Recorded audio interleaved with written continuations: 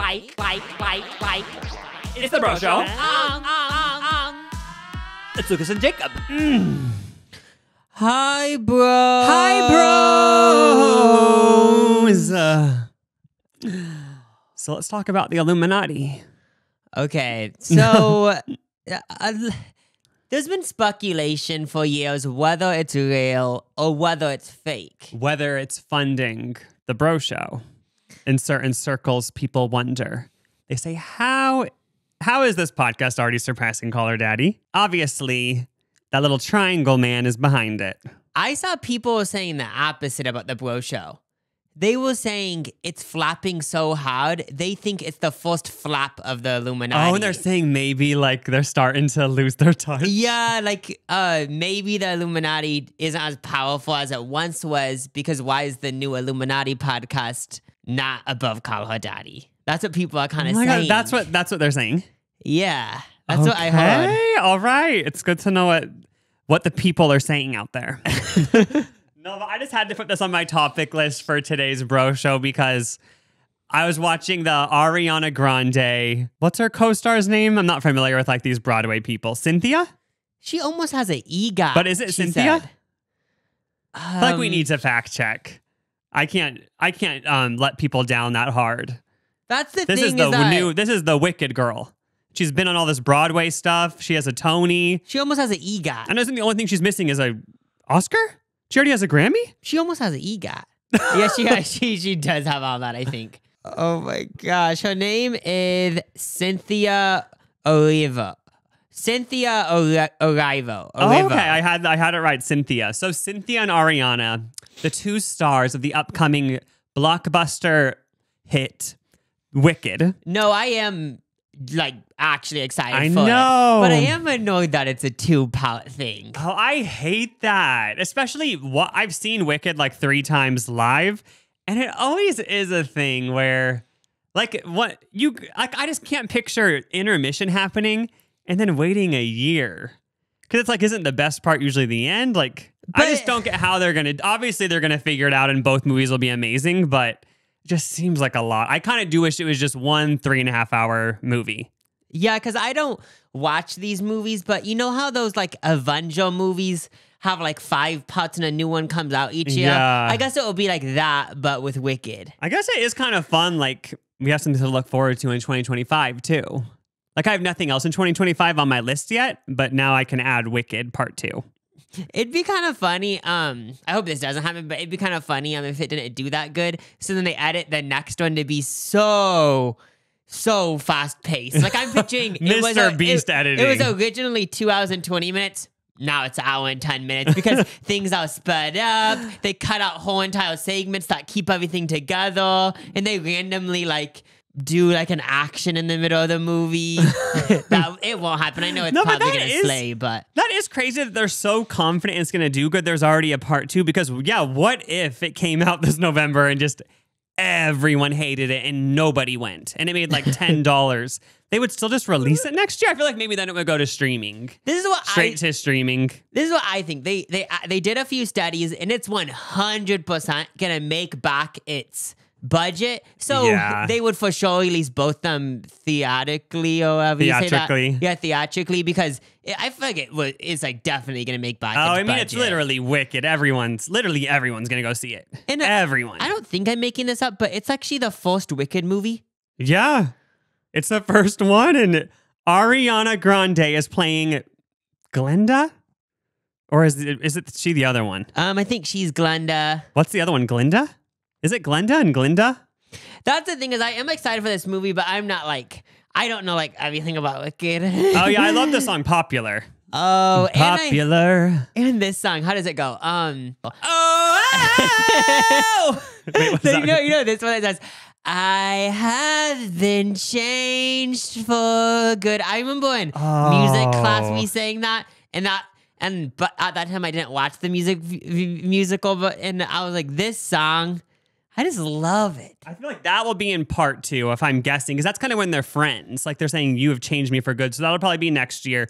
But if I remember correctly, when I've seen it live, right before intermission, you hear the Green Witch say this um sing this line and then it goes to the intermission. So everyone be prepared. You're going to hear this and then the credits. and then it will say directed by blah blah starring Ariana and Cynthia and then it will say come back in a year girl cuz part 2. That's going to be the last note though. I guarantee it. Oh my gosh, I'm excited for that. And then it just will go to black, do you think? Yeah, for sure. Maybe white. Oh. just for a little bit of a oh. change. But back to the Illuminati. They are promoting Wicked, Cynthia and Ariana, and they did the Vanity Fair lie detector video that everybody does when they're promoting something. And they asked both of them if they believed in the Illuminati, which I thought was kind of funny because that gives like 2014 energy. But I love how we're bringing it back. Oh yeah, they um it was it was part of a series of questions that were kind of just dumb questions. Oh, yeah, like do you believe in aliens? is the earth flat? Is the moon land was the moon landing fake? So Ariana said she doesn't know if the Illuminati is real, but then Cynthia said, I believe it is real. Well, And then she said, but I'm not in it. Well, it was crazy because Ariana Grande was was almost about to say no, but then she said, "I don't know actually." Know that just was weird. Like, if the Illuminati is real, this upper echelon society that we're all their puppets and they control everything. Um, I actually do believe that Ariana wouldn't know about it. I don't think Beyonce would know about it. Jay Z, Lady Gaga, like they aren't gonna let these celebrities into it. Like that would ruin everything.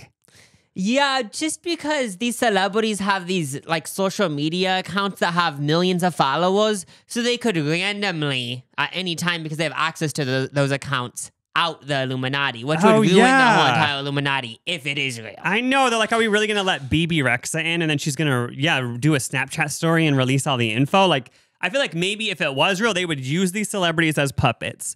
But literally, I feel like even the president wouldn't know. I feel like it's this secret society that lives in Antarctica, and they just control everything.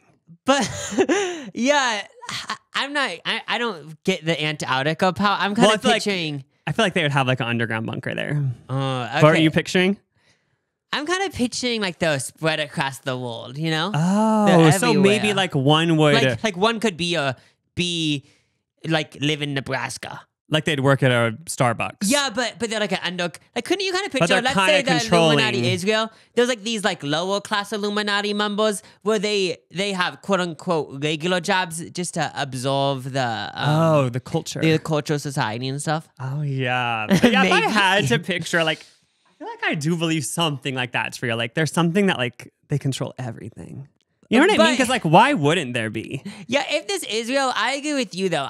I don't think it's like um I I don't think it'd be connected to the people that we think it'd be connected to. So for example, the president of the United States, I don't even think it would have to do with like any of these world leaders that we know the names Yeah. of. I feel like it would be like undercover people that like they don't even have Wikipedia pages and shit. yeah, because this, the, the, if there is an Illuminati and they're putting Illuminati symbols in a Kesha music video, like remember the Die Young music video? People were like, "You guys, there's triangles," but like. Are they really like if I'm picturing this super high above everybody's society, like what do they care about the Die Young music video? You know what I mean? That's why I feel like when these pop stars that put Illuminati references in their music videos, like that's not they just want to pretend they're part of it to be cool. Yeah, because because it does add to your mystique or something. Yeah. But I did find it interesting with this Vanity Fair lie detector thing. So they were asking Cynthia about um about um Oprah Winfrey, and she was saying, "Oh, she said such kind things to me and stuff." But then they asked her, "Do you think the Illuminati is real?" And she said, "Probably." Or did you did she actually say yes? Yeah, she said yes, and she said Oprah's part of it. But people always say I, like. made, I made up that part. But like um, you know, Oprah's like a billionaire and she's like so influential. It's interesting that she quote has met someone that people assume is in the Illuminati, and she thinks it's real. oh yeah, I just so, kind of thought that was interesting. But so you're I, saying Oprah's in it. I feel like Oprah wouldn't be part of the Illuminati. Yeah, I feel like I just thought that whole like a twist of events was interesting. I feel like if you think of all celebrities though, like maybe she would kind of like they'd fly her out to Antarctica and she wouldn't know it was the Illuminati, but they would kind of be feeling her out, you know? Maybe her and then like I'm guessing it'd be Oprah. Who else would be like maybe invited? Morgan Wallen. Oh, and I'm then oh, and then. Tyra Banks. That, that covers that covers all of society. Oprah covers like everybody pretty much. Morgan Wallen's like the beer drinkers, and Tyra Banks is everybody else. So like those three people are, are all the Illuminati needs. They don't need Kesha. They don't need Ariana Grande. They just yeah, need those mostly people have Tyra. everything. They mostly need Tyra Banks. Don't you kind of think that talking about celebrities being in the Illuminati, I could see a world where back in the 90s and before the 90s, celebrities were in the Illuminati. For example, like Oh. um, our mom was watching this documentary about models in the 90s and about how it was so glamorous and stuff. I could just kind of see a world where some of those models were a part of it. Um, just because like they technically they didn't have social media and stuff, but they didn't. And like and how could they ever out the Illuminati? Because like when they're doing these talk shows, everything's already planned and they could Yeah. probably cut it out if they did say I'm But part of the- the Illuminati. The only reason I don't think that is because when I'm picturing these people who like the president's not even involved, they're so above everyone in, in Antarctica. Like, what do they care about a model who's relevant for five Well, years? Well, this is what I'm you know what I mean? what I was pitching was someone in the Illuminati has a crush on them. So they don't ever tell them Oh. the Illuminati is real, but they are technically part of the Illuminati because that's who they hang around. Oh, I could You know see they I'm let saying? them. They bring them into the Illuminati. They fly them out to Antarctica. Then they do a little spell on them to wipe their mind, and send them back to the Vogue headquarters. I feel like maybe stuff like that does happen because I feel like even if you're in the Illuminati, you might be like, I want to meet Shaq. So then, like, you fly Shaq out, but then he obviously he might tell everyone. So you do the little dust on his face, like the little spell. You know, they probably have wands. Yeah. They do a little wand trick so he forgets everything. But I feel like they do do stuff like that. They definitely have flown out Shaq, um, Kate Moss, Kevin Durant. Nathan Kress. Talking with the Illuminati though is that the more we discuss it, the more it sounds like complete bullshit. Like, Yeah. but like, um, I'm not saying that like, like how we live in like this world where there's like capitalism and stuff. Like, maybe like there is some like person planning everything, but I s- uh, when I actually think about it, like I I don't I just don't know how I feel about the Illuminati Yeah. because it just sounds so so dumb. But I think what we're talking about is another version of the Illuminati. That like that Yeah. isn't like I that isn't like what someone would typically think the Illuminati is. Yeah, I feel like when I really just think rationally and don't get all caught up in the lore of it all, because you know it just sounds fun thinking Oh, of the yeah. secret people and then like we're all puppets. Like that just is fun, obviously. Oh yeah, because the thing about it is it does sound horrible. Like oh my gosh, but you know, th- th- just like you're saying, there's something kind of like It's just about it. glamorous. but then when I actually think about it, it's like if there was an Illuminati, like wouldn't they somehow like wouldn't they care about the Earth? Like they would make it so we wouldn't have so much plastic waste. Like they would. They are so wealthy they could just go to another planet. I know, but wouldn't they be like, we care?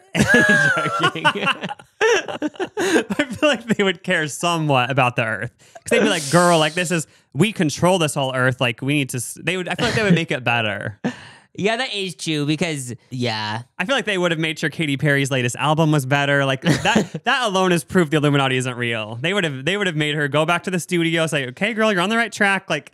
Let's just go back in the studio and work a little bit, do a little bit more rewrites. And like she could have came back with Teenage Dream 2.0, but she didn't, which makes me think the Illuminati, if it ever was real, it it ended it ended recently. I think the Illuminati's always moving though. They're like, okay, we aren't focused on Katy Perry, we're focused on Sabrina Carpenter, and then when Sabrina Carpenter like stops her too, okay, okay, we're focused on like like this new person. Oh yeah, that sucks. if the Illuminati is listening, just really um go um really um somehow control Katy Perry for her next album. Then remember she did that eye twitch thing and everyone said she's the robot, but her um her eyelash was stuck because it was glued, and then like she did this weird eye twitch, and everyone was like, "You guys, like she is the robot." What it is I wonder it just I wonder why she would be a robot. Like they the Illuminati would have killed her and like uh made her into a robot. Is that like the theory? yeah, something like that. And then people think she's JonBenét, which actually John Bonet's on my topics today. Shit. It's funny us talking about the Illuminati because it's just, oh, fun and fresh. But then it would be fun one of these days to bring someone on the podcast or something that's a scary conspiracy theory person. I'm talking about they're, they're, they're in the Oh. middle of us right now. And we actually have so much anxiety in our brain when they're talking because there's these people that I've seen videos of and I had to click up after five minutes where Oh my they go so deep into the Illuminati and like for example, let's just say JonBenét's murder. Like somehow they go from JonBenét's murder to like JFK being assassinated to somehow like we'll actually just all um fish in a pond and we're gonna die tomorrow. Like those people are so scary. But it sounds fun to just get go into the headspace for a day and be anxiety filled. No, that would be fun to have a guest like that. Like they're talking about it, neck is bulging out of I mean, Next vain. podcast, Bro Show featuring um Alex Jones. I know. I picture. I picture somebody vein bulging out of neck, face so red, sweating, and they're screaming and like. You know those people who like they're so passionate about something they might like beat us up. They say, "Do Uh-huh. something!" And then like, and then and then I would pull out an apple just because I want to munch an apple. They would start this whole conspiracy theory about how apples are turning everyone into non-alpha males, and like, and like they'd flip the apple out of my hand and say, "This poison!" Do you remember? do you remember when we first got the first COVID vaccine? And like there was all this drama. Like some people were like, "You guys like do not get it." And then one of our sisters sent us a TikTok as a joke. It was of one of those conspiracy people, and they were screaming so loud at the camera, saying, "If you got vaccine in one year, they said in one year you're going to be brain dead. The whole everyone's going to be brain dead." And then I remember, like for a split second, I was like, "What if they're right? And in one year we are brain dead?" And as far as I know, we aren't yet. But like those people are scary. Because the thing that yeah, those people are so scary. The thing about it is like whenever I see something like that or hear something like that, for like two seconds I am like, that would suck. I know, I'm but then I but then I go to rational me and I'm like, okay, like it was actually backed by science and I know, like, I'm I'm, like- not gonna be brain dead, I don't think. I know when I saw that TikTok, I was like, okay, like I'm gonna start squeezing my injection spot where they did the vaccine and hope hopefully I can squeeze it out. I would even be possible. I mean, my whole thing with that, like, even if those um theories were true about the vaccine and it's gonna kill everyone, like Which it is. I was kind of okay with it because like everyone in our family got it, so I was like, oh, I'm down to like die with my whole family. You know what I mean? like I feel like I'd be if we all died together, like it'd be less sad. Oh yeah, well, when I like truly thought about it though, I totally get where you're coming from. I I actually knew 100% it was fake because I was like, let's say okay, so basically it goes back to Illuminati. Why is this elite group trying to kill us? Why would they do a vaccine that not even everyone's getting? Like, Oh, what did yeah. they like? There's such easier ways to kill populations. Like, couldn't they just fly planes above everyone in the world and do little um secretive like um gas things that, Also- that like kill everyone? They could just drop nuclear bombs and say, like, they we would have no way to fight back. You know what I mean? If they really wanted to f shit up. Yeah, so th- that's why the vaccine. Okay, watch out because they're gonna do it. They're gonna do it. okay, but on to something more wholesome. We've spent literally almost 20 minutes making this into a conspiracy podcast. I wonder if anyone watching just before doing this, they didn't they didn't edible an hour before and it was kicking in, and they actually had to pause the podcast eight minutes in and say, "Oh my gosh! Oh my gosh!" Couldn't you picture That that? would be the worst. If you were so high, you'd be like, oh my God. And you wa- if you were so high and watched those people who scream doing conspiracies, you would automatically go psychotic for sure. oh, for sure. At least for a day. But okay, on to something lighter. JonBenét. Um. but if you've been listening to our podcast from the beginning, he, she actually there's a lot of lore about JonBenét in the Bro Show community because Jacob used to have a deep fear about her. So did I. I'm not going to just put it on Jacob. For some reason, if you were young when the JonBenét story hit, you are scared of her, even though she's the victim. I don't know what it is, but like, just she is send. She's it's the scariest thing ever because you're a kid watching the news and they're saying a kid has got murdered and no one knows who the killer is and like she was a beauty pageant person, which somehow makes it scarier. Like I feel like that that is why like it has she has such a chokehold. And if you, yeah, it's just this whole thing of like she went missing, and then it's it's kind of scarier because it's not like um she was at a public park and died. I feel like what made it scarier to me when I really think about it is that she was she died in her family home. So then it. It's just the the thought of like sleeping where you always sleep and then dying there yeah. by like not dying naturally but actually being murdered that's like t- that like would is terrifying and then it makes me scared of her because I, i'm not even just the whole idea of it's fucked I know. I just don't. I want to. I don't get why. I want to know if anyone else listening also twisted it for some reason and they're scared of JonBenét. Like when I was a kid, I never was scared of her killer. I was. I was just scared of JonBenét. I don't know why it all went to her, but like she is just a triggering subject. i know because it's i mean it's kind of fascinating when i'm really scanning my brain because if someone said right now this is the murder and they showed me a photo i kind of know for a fact i wouldn't have nightmares about them but if someone showed me a photo of JonBenét, I actually think I would have nightmares. I and I don't really know. know exactly why, but I would. And for if you're like Jacob and I and you have a deep seated traumatic phobia of her, I just want to prepare everyone because it's coming back into the zeitgeist hard. Okay, They're making a Paramount Plus show acting it out. it Like, comes back every two years, though. I know, it but came back in 2020. have they ever acted it out though? Like No, that seems a little bit insensitive just because like the dad is still alive, the brother, and like now they have to watch Melissa McCarthy be in a show about her. Wait, so how do they, like, what is it based off of? You know, because like, how do you make it factual? It's just that she's playing the mom and then some other guys playing the dad and Is she gonna make it a comedy? I think she said she said she wants to bring like her bridesmaid vibe into it. 'Cause She said Ah. that yes, it's a sad story, but she thinks it could be like funny. Mm. I'm just kidding. She didn't say any of that up, but that would be cool seeing her in a serious role. I'm assuming she won't. Maybe the mom was funny and that's why they hired her. But like, I don't think she'll have any jokes, but maybe she will. Yeah, I could, I could see either way. But I don't think they've announced who's gonna play JonBenét yet. I've been trying to audition. For some reason, in my mind, the first person that came to mind was like, okay, I'll give it to Anna Sophia Robb or Dakota Fanning. But it's like they're literally 30 now. But you know, in my mind, I picture them as that role. They should somehow do time travel and have Dakota Fanning play it. That I'm picturing the girl from uh hey what's her name um Bridget Bithia. Oh, Anna Sophia Robb. That Oh, was my other pick. Oh, yeah, those are the two main. Those are the two it girls. Is Anna Sophia the- also the main character in um Winn-Dixie? yeah, I'm oh, pretty sure. Yeah. So she, was needs the, to be it. And she was a little rich girl on Charlie and the Chocolate Factory. Like she had iconic role after iconic role. And then she went to college and now she's like an activist. Last time I saw her, she had a pixie cut. I think I follow her on Instagram. Someone that also goes into this realm of these people is we were at the grocery store the other day and on a People magazine it showed this one actress and it said, I'm I'm becoming myself again. Who's that? Hayden that oh, that person fits into this vibe. But she would also be a great pick for to put into a time machine and she could play JonBenét. Honestly, um, they should start doing this with child actors, like um, scanning every part of their face so then they can just do AI versions of them. I know. I'm like, joking, that might be unethical and stuff, but still. yeah. Well, actually, it wouldn't be because I was uh, my first thought was these young actresses today should have a shot, but then it's like, no, they shouldn't. Go to school. Like they shouldn't be playing JonBenét. Like I feel like they actually shouldn't. Like that seems traumatizing. But then again, like I could see some kids like think they just love acting and like they want to play John Uh, Bonet. I feel like Dakota Fanning could handle it, but I don't know if these other girls could.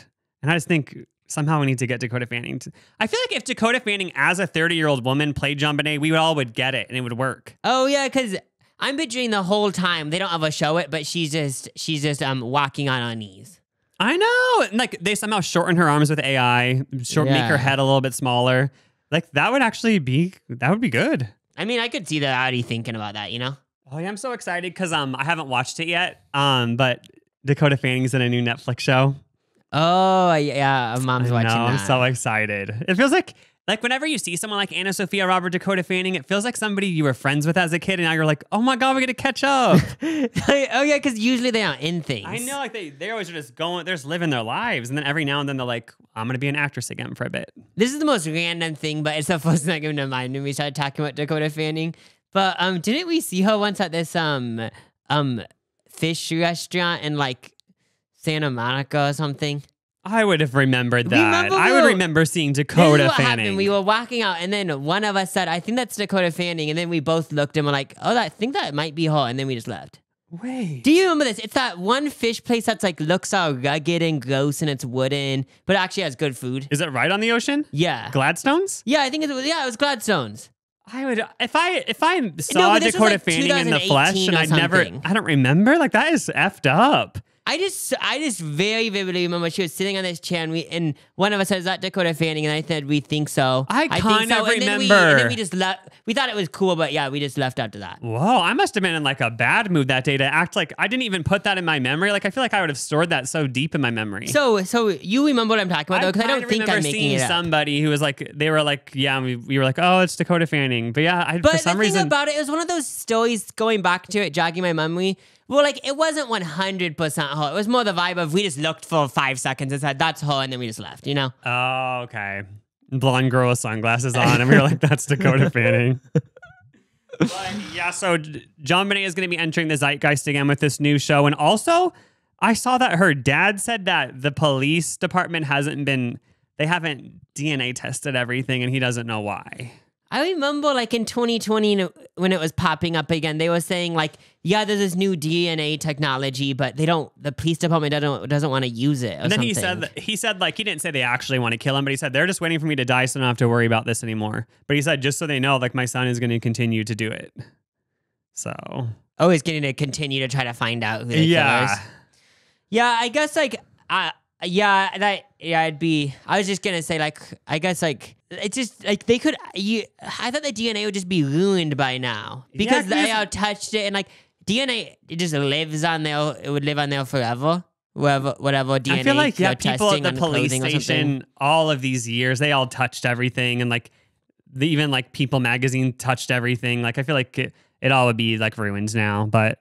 The dad has hope, so I don't. He he obviously knows more, so guess well, maybe Melissa McCarthy will somehow get it going again. My feeling about this show that you're talking about, this Paramount Plus one, is that it's um it, yeah, um it's gonna be horrible. Like it's just The- gonna uh, like like I feel like it might not suck that bad, but but people just people just won't like how they made a show about it. Do they get paid? Because if the dad and the son actually approved it and they were like, whatever, this will get more attention on the case and it'll it'll make the police have more pressure on them. Did but do they somehow do it without paying them? Because that is actually effed up. That's what's like kind of fucked about this whole thing is that also do they kind of get to put their input in about the script and Uh, stuff I because feel like not. it just would be so weird. The, the whole yeah, just such a weird situation. I know. I just hope they somehow get compensated.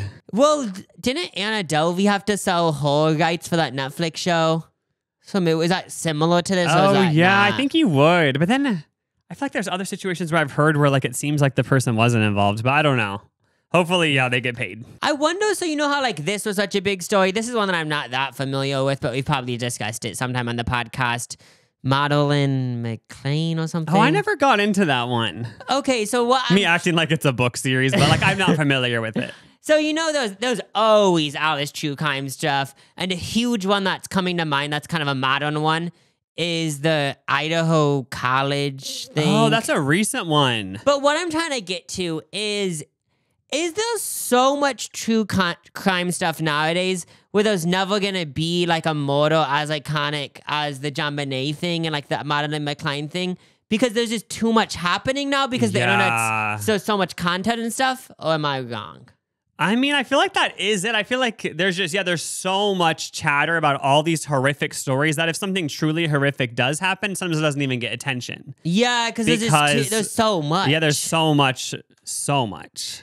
Enough about her. um last week we talked about genies.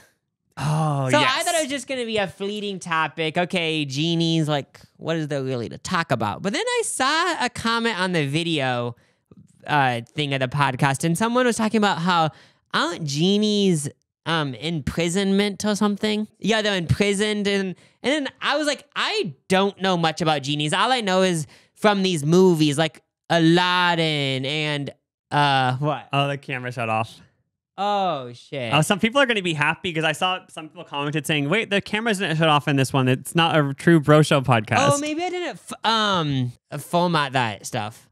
Okay, but genies. All I know is like Aladdin and probably some other stuff. I just think of like this like little person in a bottle, like we said last. Wasn't the one in. Aladdin kind of ripped? I remember a big muscly chest. Oh, I think he was kind of Yeah. like like a muscly So he big was person. when he was in that little genie lamp. He was he was making use of his time doing push-ups and stuff, calisthenics. Okay, but genies. So it actually is way deeper than just these movies, I realized, which I didn't know. So it goes back to ancient myths and legends from the Middle East, and it actually is part of um Islam. Kind like it's What? it's mentioned in the Quran, I guess. Wait, what? Yeah, but it's not it's not like what it's not like the genies that we're thinking of, basically. So what I think happened from what stuff that I read is like so yeah, I mean um it's like myths and stuff from the Middle East and then people heard about it and then basically they kind of like completely warped it for like these for like these western movies and stuff. So what we know about genies like isn't actually like isn't like the original But they actually talk about genies. genies and you get three wishes. No, but yeah, like um, three wishes. Part that's like part of like um the genie, the, The Disney version. yeah, the westernized genie, I guess. Oh yeah. But so th- that's interesting. Like it can be negative or positive. But but I was like I, I was like thinking like I don't know more about like the genie that I'm thinking of because this is probably like way deeper. This because it's part of a literal religious text. But basically, like in these Western movies, like Aladdin and stuff, like um, genies are like magical creatures from a bottle and stuff. You know. Yeah. But then I guess in these um Middle Eastern movies, um genies are usually creepy entities comparable to demons. This is a quote from like some one of these like fandom websites or something. Oh, wait, what is oh so from Disney it's happy and then what makes it scary? But then like in these Middle Eastern movies, like if there is a genie, like it's usually like a demon or something. Oh my god! No, it's like comparable to a demon. Okay. But here's some like just fun facts about um genies. Oh my So- god, tell me. I was just like researching genies last night, and I was thinking like it's weird that I guess something that I read was about how genies were like before humans, but there's still some left. Oh, what? That's like that's like what that's what like a dinosaurs were effing with them and stuff? Maybe it would be I don't know, but like they were even before Neanderthals? humans. but but yeah, so when a genie's in a bottle, it's actually in prison. Oh, I was surprised to read that from the comments. And they somebody actually commented that in Aladdin, they free the genie at the end and his shackles come off. Which I don't remember that, but somebody said that happened. Oh, okay, yeah. So I I guess I yeah, I didn't understand. Like I thought it was just a genie lives in a bottle. But so these genies would um, be like floating or whatever, and then someone would trap them in a bottle. Like you can trap them in any like in a lot of things, like in like um metal cases and stuff. And then Oh. basically you just had them in prison. But then I guess if um if when you let the genie go, if if um they're gonna tell their genie friends like uh oh like this person put me in prison, so let's not go by them. Oh, they don't seem scary though. Like that doesn't give me demon energy. That gives me like Well, the demons are locking them up. I guess genies can be negative or positive. Oh, wait, so Yeah. these, these people like do some people like actually believe in them and like they think genies might be floating around somewhere? Well, like I said, it's um part of Islam, so I, I mean I don't I don't I don't know how like deep it goes. Like Oh, I, yeah. I don't know like there's like parts of the Bible where like no one really believes it, but it's just part of the Bible. So I don't know if it's like one of those things. Oh, or- yeah. yeah, I'm not sure. But they're also immortal. Like they basically can live forever. Oh my god, so maybe they are they're still around because they're immortal, but they're just trapped. Someone has them trapped. And they're shapeshifters. Like like they can go into snakes and stuff. Ugh. The idea of a shapeshifter is so scary. Like, what if like you met someone at the mall and then you kept looking at them and then they turned into a rat and then you looked for another ten minutes and that rat turned into a rabbit? Like, Oh my actually- God. would like be so fucked. The iconic um video of Nicki Minaj blinking and it turns into a reptile. What? Yeah. Oh, I think I know She's a what you're talking shapeshifter. Three days every thousand years, they have a genie convention. Three days every thousand years? Yeah, they have a genie convention. Wait, who? The genies? I, I was just looking at this random ass fandom website, so I don't know. I'm, I think this There's is just a- this is just talking about like more of a Disney genie. There's this a fandom website for genies. I love how there's like in, there's a fandom for everything. Yeah, Like, isn't there probably a genie convention every year where like people meet up and just talk about genies in a Holiday Inn ballroom? Oh, I, I bet so because there was like a few fandom websites about genies because Oh my there's a bunch of like gosh. books and movies that talk about oh, Yeah, I didn't know genies. how deep the lore went. The genie lore. I saw. So you know how everyone talked about Rat Boy Summer? It was like this thing. All girls want to Oh. date rat boys. I didn't know about this other thing that girls started wanting to date fruity boys, fruity men. Oh, so just just men that act more stereotypically gay. Oh yeah, because I saw this article that said women are into fruity men. Study says, and I was like, okay. You click on it. It's you click on the article. It shows that Harry Styles, Timothée Chalamet. I guess those are the fruity men. But I guess there's actually a study that says um women are into fruity men. So this So maybe we should turn- surprising to me because um just because thinking back to being on YouTube and stuff, these um like it was always a thing where these um girls would always be more attracted to the gay guys. Like whenever I'm on the internet, they always are like are like hyping up these gay guys saying this person's so hot. But then they're never hyping up the straight guys. So it kind of just makes sense in my mind. Oh yeah, apparently the study said that men with quote unquote feminine traits have a better chance at successful long-term relationships. And it's because women, I guess when you actually think about it, it isn't as dramatic as the title. Women, Yeah, that's what it's not women want fruity men. It's just like they want a guy who is like not like he still has a feminine side. He's sensitive, he's caring, he's paternal to their because then you're then they would think, oh, he'd be a good dad. Like it makes sense to have a long term partnership with them. But Wait, I guess so it isn't who- like fruity. like what are you even picturing? did Picture this fruity. That's the thing. Who's doing studies on this? Like, is it just like a like a study someone did on Tinder or something? Oh yeah, I don't know. I was just surprised because I heard about Rat Boy Summer, how everyone was into Rat Boys, but I didn't hear about the Fruity Men TikTok trend. I guess it was a TikTok trend. All these people were, all these women were making videos saying, "Hell yeah, like I want a Fruity Boy," like, and I, I did, I missed that. I wasn't, that didn't hit my um, algorithms, so I just wanted to share it. Yeah, yeah. I mean, I thought this has been a thing for like the last decade or so. oh yeah, it is. I guess now there's officially a study.